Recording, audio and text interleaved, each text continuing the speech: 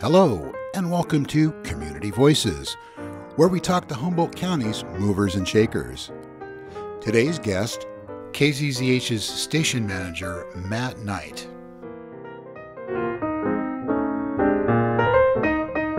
And now here's your host, Ray Olson.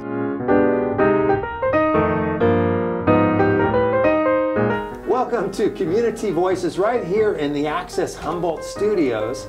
I am your host today, Ray Olson, and joining me is Matt Knight, who is the station manager for KZZH Radio. Thanks for coming in today, Matt. Well, it helped that I was already here. yeah. but yeah, thanks for sitting down to talk to me about it. Uh-huh. So let's tell me about KZZH Radio because I really don't know that much about it. Okay. Well, KZZH is a LPFM. It's a low power FM radio station, broadcasts at uh, 96.7 kilohertz on the FM dial. Um, we got this uh, uh, license for this station as part of a, a, FCC uh, station giveaway to nonprofit and educational organizations that happened uh, back in, well, uh, it happened back in 2014. Um, so we uh, had, once we were g- uh, granted what they call a construction permit, which is the, the uh, which allows you to start building up your station gathering equipment and, and things of that nature. Uh, we were licensed uh, officially on uh, August in August of 2016, and we've been on the air ever since. So you started being on the air in 2016. That's right. And um, you, is it uh, who who? It, what are the programs that you have on your stations? Well, uh, we have a variety of programs. When we first started out, um, it was basically to support the mission of, of Access Humboldt. Our main mission at Access Humboldt is to bring uh, your local governments to you so you could participate in your democracy. So, um, Access Humboldt is always uh, uh, cablecast. Uh, you know, Board of Supervisors, Eureka City Councils, various boards and councils throughout the county, um, so people can find out what their electeds are doing. So the idea uh, behind uh, KZZH was to uh, bring that information to people that can't afford either broadband uh, connection or cable television, which is quite an expense. Uh, all you really need to participate in your democracy is an FM radio and a battery. You know, so you can yeah. you can you can listen to it on on on that level, right? So that was our main mission when we first started out. Since that time, uh, we've continued our, our mission of Access Humboldt, which is to bring local voices to the community, uh, to, to uh, assist the nonprofit sector, uh, to get the word out about the things that they're doing, uh, bring news uh, and information to, to folks, to support youth in uh, media, uh, to be there when uh, emergencies happen, to provide emergency information to the community. Um, so that that is sort of our, our reason for being. Yeah, I I would imagine there are areas of Humboldt County that don't have internet access, so you would be a service to those sort of underserved communities. Yes and no. Well, uh, because uh, we are an LPFM station, we're limited to 100 watts. So your average FM station in Humboldt County is somewhere in the neighborhood of three, several thousand watts. Okay. So, you know, in that respect, we're sort of the mouse that roared. We, we, you know, we cover quite a bit of territory, Yeah. uh, but not the, into the hinterlands. So, we can't get back into you know the smaller communities that are that are beyond uh, you know the, the the Bay Area. So. But we do reach Eureka, Arcata, into McKinleyville. I've talked to people that get us up in Trinidad. Uh, just because of our location here on the coast, uh, we do get out pretty well. And of course, we are, are also online for people that have access either through their smartphone or for the computer. Um, they can go to kzzh.accesshumboldt.net and uh, find our stream and listen to us if they are, say, uh, beyond, uh, you know, our our, our, ter- terrestrial signal. Um, so, uh, how does your programming run during certain hours or We run 24/7. 20, wow. Yep. So we have a mixture of programming, including national programming like Democracy Now! and To the Best of Our Knowledge. Uh, and then um, programming that's created here at Access Humboldt. So um, I personally produce a number of programs here, including uh, a show that I do with the editors of the North Coast Journal called North Coast Journal Preview. Um, we um, work with, um, I, I have a, a, a show called um, Radio Centro, which we work with Pueblo del Centro. It's a Spanish language show. And we do serve that community. So we do have a Spanish language block. So where we have Radio Bilingue, Radio Centro, um, and and things that you know PSAs and information that's uh, pertinent to the Spanish-speaking population. Um, but we also are a home to uh, local people who are producing, say, podcasting. You know, um, you know, and what is podcasting but radio without the tower? You know, essentially. So. Um, uh, one of the things I always try and sell people who are doing podcasting is that um, you know you have an audience that listens to you online, but there's a whole other audience out there that may know nothing about you uh, or your show. And so one of the things about Access Humboldt uh, and uh, KZZH is bringing uh, that information to a brand new audience who may have never may never have heard you for whatever reason. So we do encourage, and I do encourage and work with locals who uh, uh, are doing their own radio programs, podcasting programs that work as, like I mentioned, podcasting is essentially a radio program. And so, you know, it's a part of our mission to give people uh, a voice on the air. Have you had pretty good participation from local volunteers who come in and make their own programs? Yes, uh, there's never enough. Uh, we are content hungry, so we're always looking for for new stuff. But yeah, we do have a cadre of volunteers who um, who help us. Um, for example, I just got an email from one of our uh, volunteers, Izzy Vanderheiden, who uh, uh, reads the community calendar every week. So this is one of the things that we do is we. Get information from nonprofits who are holding events. We compile it into an audio uh, calendar that gets recorded on Friday morning and then is played out throughout the week. So people, um, nonprofits can tell people you know about fundraisers about you know pancake breakfasts about you know whatever whatever it is they're doing. Um, so um, she's one of our volunteers. We have Nate who who produces a number of shows. One is called Civic Union which he talks to uh, local elected officials talks about the jobs that they're doing and what their challenges are um, I also produce a show called Thursday Night Talk with Talvi Freed as our host and we talk to you know uh, people in the community find out what their issues, their problems, uh, you know, that they're facing, uh, or not just problems, also good things and fun things that people are doing, you know, uh, that we think people ought to know about. So I can always use more of that kind of programming. Uh, All right. Well, okay. So, so tell me, walk me through that. Like, if I'm someone who says, "Yeah, I'd like to do a, a radio program, but I don't know anything about it," can you kind of walk me through what I would need to do to step up to do that? Yeah. Well, one of the nice things that happens here at Access Humboldt is we provide education to people. Okay, so come in the offices here and express the interest first Right. of all, and then you'll just kind of like guide them from there.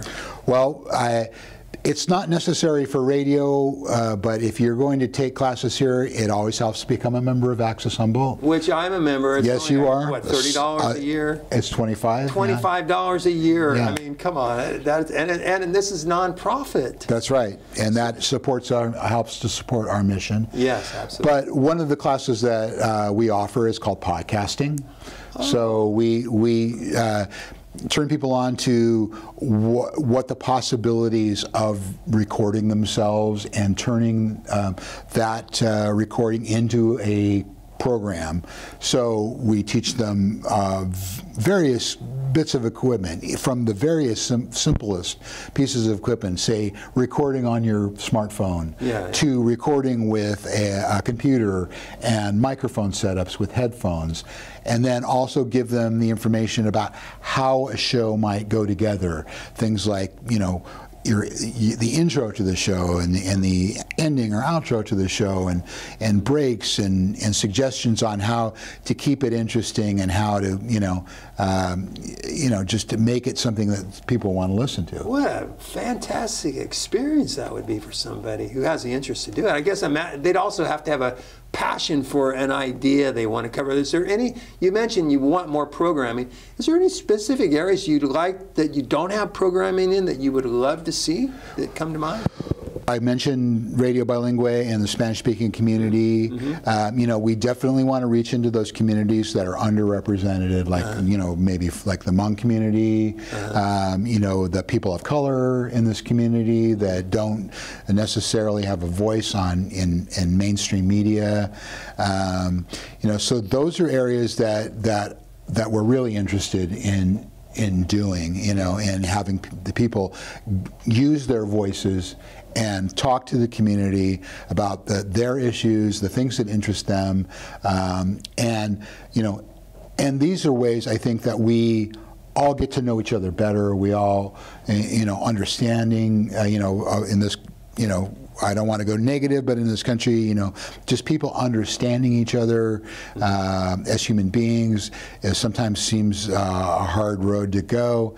And so, I, I, my personal feeling is that these kinds of, um, of programmings helps us down the road towards a better understanding of each other also the nonprofit community uh, you know uh, a lot of times people they sort of labor in obscurity you know yeah. people don't know what it is that they're doing, what they're about. They haven't heard about you know the great things that they're doing here in this community, mm -hmm. uh, and so um, programs that shine a light on on on those on the nonprofit sector um, are always welcome here. We can help to develop those kinds of of, of, of shows and uh, you know really get people using their voices. So you've kind of given me a nice picture where where uh, KZZH is now is there any uh, directions in the future, equipment upgrades or anything else? Where do you see the future going on there? KZZH is a, uh, a station that runs on a shoestring budget.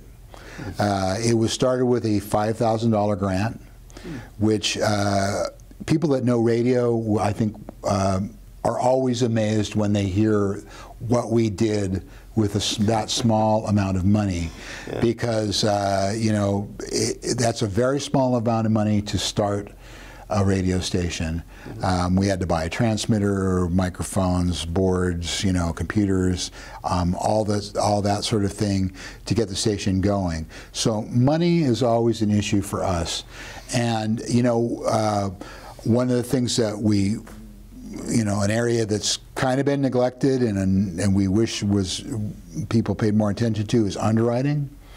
So um, we would love to have people support us financially in exchange for, you know, uh, messaging on the radio station. So you can always get in contact with Monique, who's our uh, underwriting person here at Access Humboldt. If you go to um, accesshumboldt.net, you can find her contact information. Mm -hmm. It's Monique at accesshumboldt.net One of the things that I've always, you know, I've been in public radio uh, for a long time. I, you know, was with the the university's uh, station as a volunteer for over 20 years. And um, you know, one of the things that uh, working on the fundraising uh, at that station, the people that support the state, these kinds of stations are the people that under, that understand it and use it themselves, right? Mm. So when you say underwriting, people think, oh, it's like a, a car commercial or something. But you know, we we don't do, we cannot uh, do, you know, like um, appeals that are, calls to action where, hey, come down and buy our cars, or hey, buy, come down and buy our you tacos. You can't sell a service or a product. Can't sell a service or a product. Right, which is understandable because this is a nonprofit. That's right. Huh? But what we can do is tell people uh, that you, what your business is, where it is, how to find out more, and more importantly, that your business supports community radio, that you support information, uh, the free flow of information and uh, the local voices that are on the radio station. And people appreciate that when they when they hear your name. uh, is supporting either you know our station or JPR or one of the other you know uh, stations, they they appreciate that you, you are a community-minded business, right? So that's your opportunity to help us, and so. Uh, with money like that, we can plow we, we would plow right back into more and better programming, more and better equipment, um, you know, better outreach uh, into you know, you know different communities, um, and it just allows us some certainty from year to year that we don't have at this point because, like I said. Basically, uh, we run this station on my staff time and on a small ca- cadre of volunteers that I mentioned before, um, none of whom gets paid, all of whom who do it for the love of of radio and for the love of this community. So, I mean, if you are a business owner and you want to join, or an individual, and you want to join in on that, you know, you're always welcome. Um, we also have a Patreon. So uh, Patreon is a way that you can kick in a couple bucks uh, a month to keep uh, the radio coming to the community.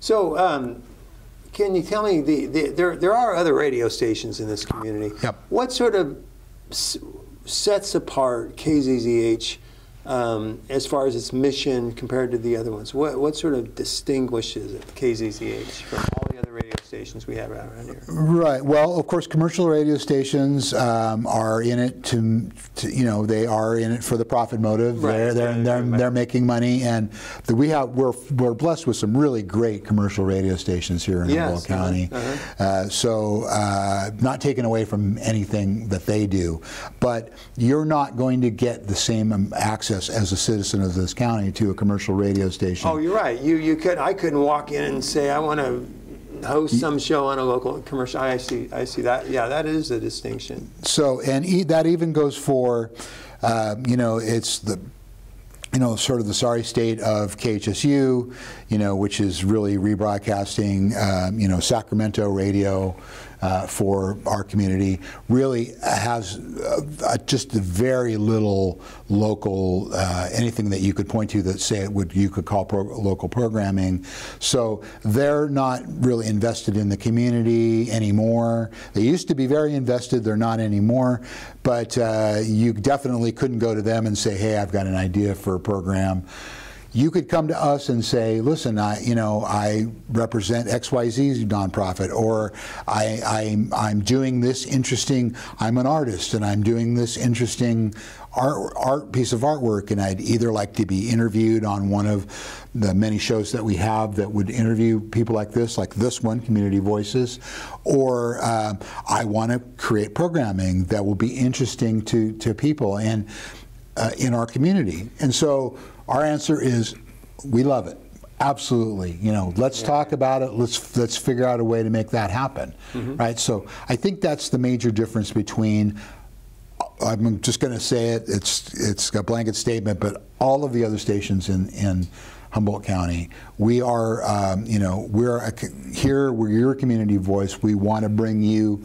Uh, into the conversation, we want you to tell the community what you're up to. So that really is is why we're here. Yeah, you fill a niche that's not being filled by anything else. I, I hear that. Um, okay, so can you give me an example of a, a person who came in, didn't have any experience, totally sol- solely no- motivated, that walked in here and is now doing their own show on KZZH? Do you have an example of a person like that? Well, totally. Uh, you know, Nate Dogg, uh, who who produces the Civic Union show that I mentioned before, Yeah. uh, is he's not a stranger to radio. He he was the program director at KMUD for a while and, and, and that sort of thing, but he literally contacted me and said, "Hey, I've got this idea for this sh- this show. Um, it's called well. The first show that he did was something called Get to Know Your Local Nonprofit." And so that was uh, a chance for uh, uh, nonprofits to talk about what they're doing. So he came in, did the show here. Um, it's kind of been in hiatus, but they're they're they're bringing it back. He also came in and did. Um, a show uh, called Civic Union, which I mentioned before, which is talking to local electeds. Uh-huh. Um, and so since then, he's gone on to start helping other people do their shows. Oh, wow. So uh, um, I, I don't want to jump the shark. I don't want to. I don't want to talk about things that haven't happened yet. But he's got two, two or three other shows that he's working with local people. So he's the person who's bringing people into the station and helping them realize what the, what they are, what they want to do. Uh, one of the oldest shows on this station is something called the Quantum Alignment, that's done by uh, Dr. Pepper Hernandez. Um, Oh, yeah, yeah, I know her. her yeah, yeah, Pepper, yeah. Pepper's great. She she started off doing it as a podcast. It's still a podcast, Uh-huh. but um, she came to me and said, you know, hey, you know, um, do you think uh, there'd be an audience for this on? Uh, on KZZH, and here we are, uh, almost seven years later. She's the oldest continuous running show on KZZH, and so she's another person in our community who, who's uh, doing things. Uh, I mentioned Thursday Night Talk uh, with Talvi Freed. Um, that was a show that was originally on KHSU that uh, we brought back, um, and along with other shows. For example, um, uh, we do a show here called Art Attitude with Wendy Butler, who did a show called Art Waves on KHSU for many years. And so she's another person who came in and said, Hey, I'd like to bring this show back. Um, it's a show about artists and dancers and musicians and, and, and artsy things that are happening in Humboldt County. So there's another example of someone who just said, Hey, I've got this idea. Would you be interested in doing the show? And my answer was absolutely.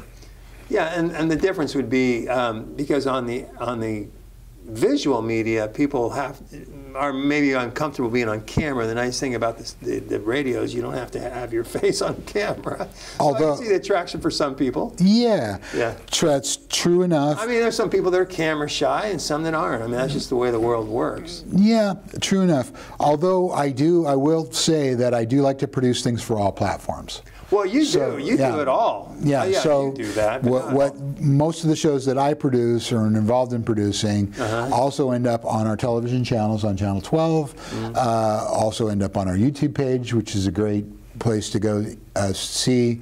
Uh, we also maintain an archive at internet.org. Mm-hmm. So in, any of the shows that we produce in house, uh, you can go back and listen to shows we did, you know, two, three years ago, or even longer. Mm-hmm. Uh, so yeah, it is radio. The the the old the old joke that I hear a lot about having a face for radio, and def, definitely guilty there. Uh, but you know. Uh, we, we do like to try and, and get uh, your face on the TV as well if we can. Yeah, because everything you said for KZZH also goes for your visual, your video media. People could also come in and set up shows.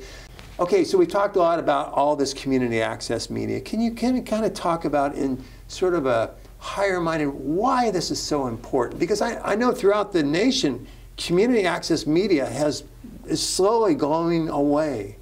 Why should we all care about having access media in our community? Well, I, I think the if you're fine with top-down uh, media, where someone in an office somewhere that may not be in your city, might not be in your state, or even in your country, is deciding what it is that you hear, right, and the information that's that comes your way, well, then you know maybe maybe it's time for uh, you know access media to go away. But our philosophy is is that we're bottom up, right, and we we want to hear from the people you know that are living the lives uh, that they're living and uh, you know and have something to say to the community. And we really think it's important that that filter in between what you need to say uh, responsibly right? We, we don't we're not you know we're not going to be a platform for hate speech. We're not going to be a platform for misinformation. Right. uh, we're, we're, we you know but you know opinions matter information matters local matters Right, right, right. so we we uh, you know that's the i think why you know access media is important. And you know you could it could it's, as you mentioned uh, it's it is dying on the vine in many places. Um, we're blessed here in Humboldt County. People seem to appreciate uh, what we do here at Access Humboldt. The elected officials appreciate it. Um, average citizens appreciate it. Um, do we wish there were more people involved? Yes. Do we wish that we, you know, had better, more stable streams of funding? Absolutely, mm-hmm. right? Mm-hmm. But uh, you know we we do what we can do, and we do it every day. And whether or not you know we're here in ten years, whether we're the same organization in ten years, I can't really say. You know, we're living in the now. We're we're we're trying to do the best that we can mm-hmm. with what we're given, and hopefully that's meaningful to the community. Absolutely, well said. I appreciate you saying that. Any any last thoughts about KZZH or Access Media? Well, if you don't know us and if you haven't checked us out on your radio, hopefully you own a radio. Uh, uh, 96.7, uh, check us out. You can also get us uh, online at kzzh.accesshumboldt.net. If you want to talk to me or get in contact with me about potential shows, my name is Matt, M-A-T-T, at accesshumboldt.net. Hit me up with an email. We can talk about uh, your thoughts and what you might want to bring to the community. Well, great. I think we're running out of time, but before we go, I just wanted to extend an invitation to anybody who wants to come and join Access Media. Um, it, Matt and the others are waiting here with open arms to help you express whatever it is you want to express with their guidance. So, um, well, I just want to thank Matt Knight for joining me in chit chatting here. And if you have any other questions or want to know more information about Access Humboldt, check out their really well done website, accesshumboldt.net. That's it. And um, thanks, Matt, for spending some time here and telling me more about KZZH Radio. Glad to do it. Yeah. Okay, well, we hope to see you next time on Community Voices, right here in the Access Humboldt Studios. Thanks for joining us on Community Voices. If you represent a nonprofit that is interested in being a guest on Community Voices, email info at accesshumboldt.net.